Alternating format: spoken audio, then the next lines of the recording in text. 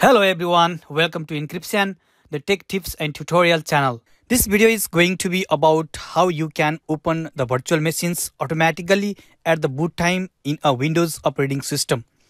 This method is going to work for the VMs running on Windows Server as well if you are using the VMware Workstation or VMware Player. So let's get started. Here on the VMware Workstation 15, I have created a virtual machine named admin of a Linux distribution CentOS 7. It is on the powered off state now. For this demo, I'm going to show you uh, how you can start the virtual machine automatically uh, when the computer starts or reboots. We will have to create a batch file and move it to the startup folder. So let's open a notepad first.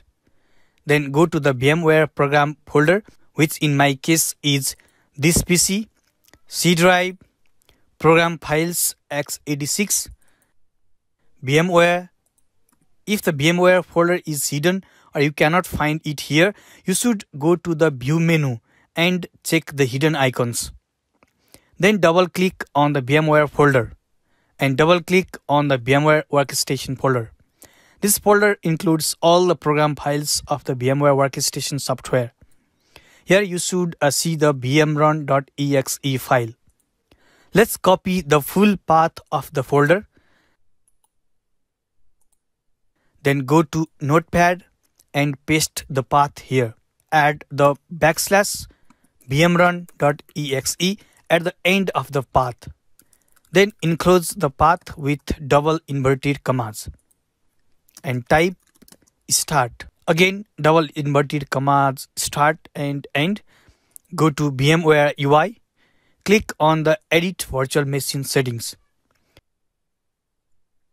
Click on the options. Select the working directory.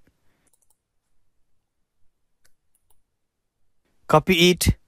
Go to the notepad and paste the working directory path inside the double quotation. Then add a backslash, go to VMware again, copy the virtual machine name,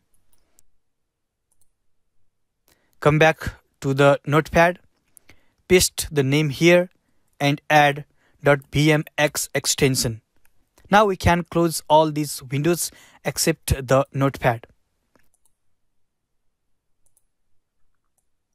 Finally, let's save the file as vmrun.cmd. You should make sure that the save as type should be all files.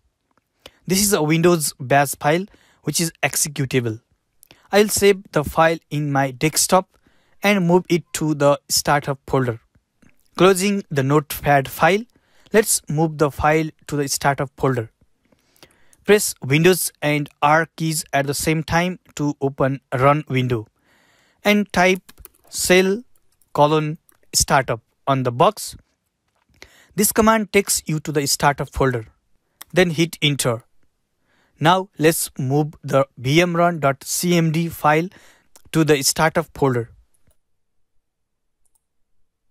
That's all. To verify, let's restart the PC.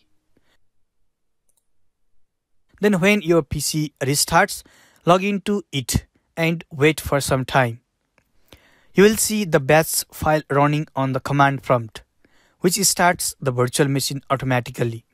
Here we go. The virtual machine is starting automatically. Okay friends, uh, this is how we can configure our Windows PC or Windows Server to start virtual machines automatically after the PC or the server reboots. I hope the trick was useful to you.